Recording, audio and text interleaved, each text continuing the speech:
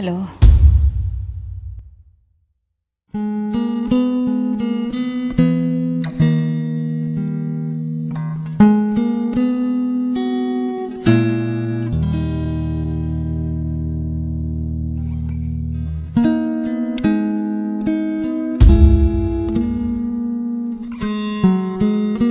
Tutulong ako sa mga magsasaka. Naiintindihan niyo ba sinasabi ni Jonas? Pumapayag ba kayo?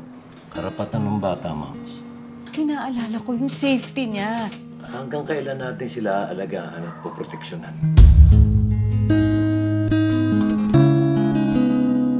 Mams! Bakit? Si Jonas nawawala. Baka may nangyari na sa batang yun ah. Baka na aksidente.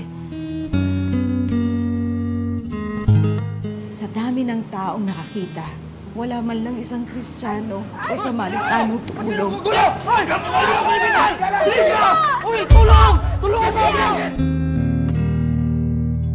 Di ba yung kapatid ko sumisigaw na hindi siya kriminal? O sir, nakita ko tatlong lalaki, tapos yung babae. Sinakay doon sa sakyan, kulay maron. Ito nga po yung plate number na nakuha ko eh. Hindi to sasakyan sa sabi security guard eh. There is no evidence that proves that Jonas Burgos was abducted by the military. Pihado, mga kaliwa ang kumidnap doon sa hinahanap ninyo. Kayo na mga kasamahan ninyo. Anong ginagawa niyo para hanapin siya? Gumagawa rin po kami ng sarili naming paraan. Alam naman natin kung sino ang mga nagpadukot talaga kay Jonas. Alam ko may alam ka. Gustuhin ko man, nasa kamay ng iba ang kaso. Pinaiikot-ikot nila tayo. Tayo pa ang gusto nilang lokohin. Trespassing kayo!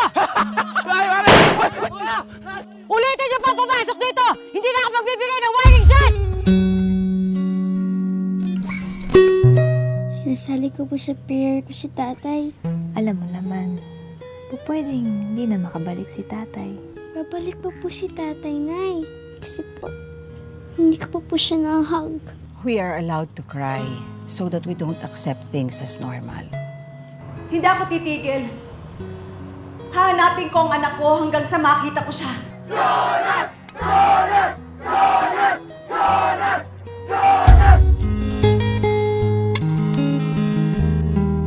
naniniwala kasi ako na a mother's love is so strong, it can bring back a missing son. Ah.